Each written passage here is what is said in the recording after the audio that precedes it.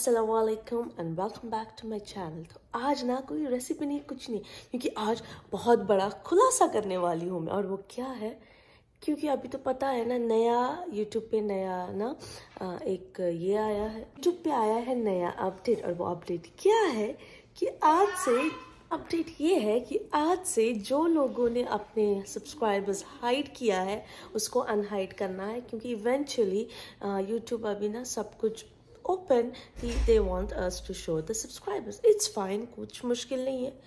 हम लोगों ने एक अपने दिल से मतलब ऐसे कुछ छुपाने के लिए नहीं था वो, जैसे कि we felt bad because we are new youtubers, we are newcomers on this, you know, social media channel, i mean in this platform.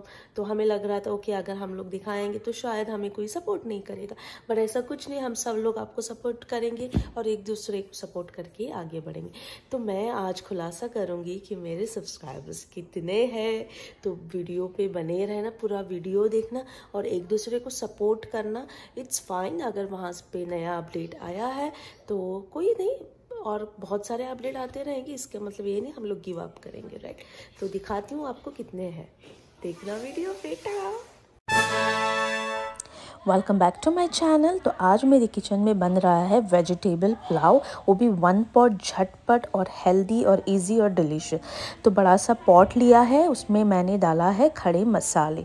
खड़े मसाले जो है डिस्क्रिप्शन बॉक्स में लिख दूँगी और भर के मैंने दो बड़े से प्याज डाला है। फिर जब प्याज सोटे किया है, उसके बाद में ऐड किया है दो बड़े से स्पून जिंजर गार्लिक पेस्ट के।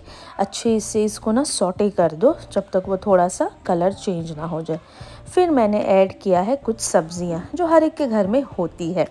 तो मैंने ऐड किया है यहाँ पे कैरेट, दो बड़े से थोड़े से बीन्स थे मेरे पास जो घर के थे। मैंने यहाँ पे ऐड किया है कॉलीफ्लावर, दो बड़े से टमाटर। जो अवेलेबल है, ऐड कर दो, झटपट बनने वाली है। फिर मैंने इसमें डाला है one big cube of vegetable stock. तो वेजिटेबल स्टॉक दाल अगर वो है तो डाल दो otherwise you can skip it और उसके बाद में सब सॉटी करने के बाद मैंने ऐड किया है इसमें पनीर। मेरे पास पैकेट में पनीर था, वो भी डाल दिया है। फिर डाला है स्पाइसेस जो कि कुछ ऐसे है। हल्दी है, गरम मसाला रेड कश्मीरी पाउडर है, धनिया पाउडर जीरा पाउडर और मेरे पास घर का बना हुआ था biryani masala. Make sure to put that biryani masala जो मैंने घर पे बनाया था, मैंने वो डाला है वन स्पून फिर मैंने ऐड किया है दो बड़े से स्पून ऑफ़ कर्ड ये भी डालना ज़रूर, क्योंकि इसी से फ्लेवर आएगा.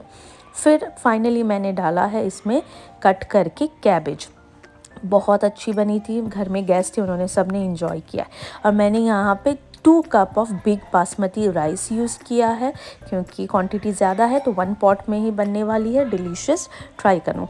अच्छे से मिक्स कर दो। दो कप के लिए मैंने यहाँ पे चार बिग कप पानी डाला है।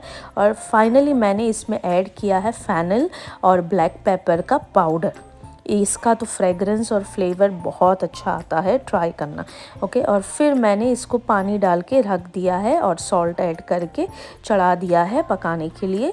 20 मिनट्स के अंदर बन के तैयार थी सो मैक्सिमम 45 मिनट्स के अंदर ये बन के रेडी थी। Try this recipe and let me know in the comment section. See you again with another vlog. Till then, take care. Bye bye. Allah hafiz. So, ऐसी बनी थी मेरी pulao I hope you enjoy bye bye.